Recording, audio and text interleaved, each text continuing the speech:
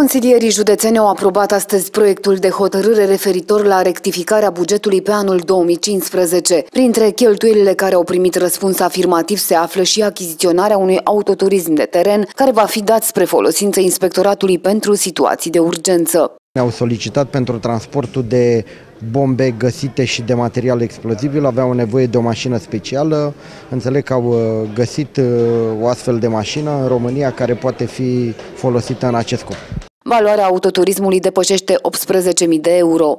Am alocat uh, fondurile și se va face achiziția în perioada următoare, se va, până la finalul anului se va face achiziția acestui autovehicul. Până în acest moment se circula cu un autovehicul Aro vechi care efectiv nu mai putea fi folosit.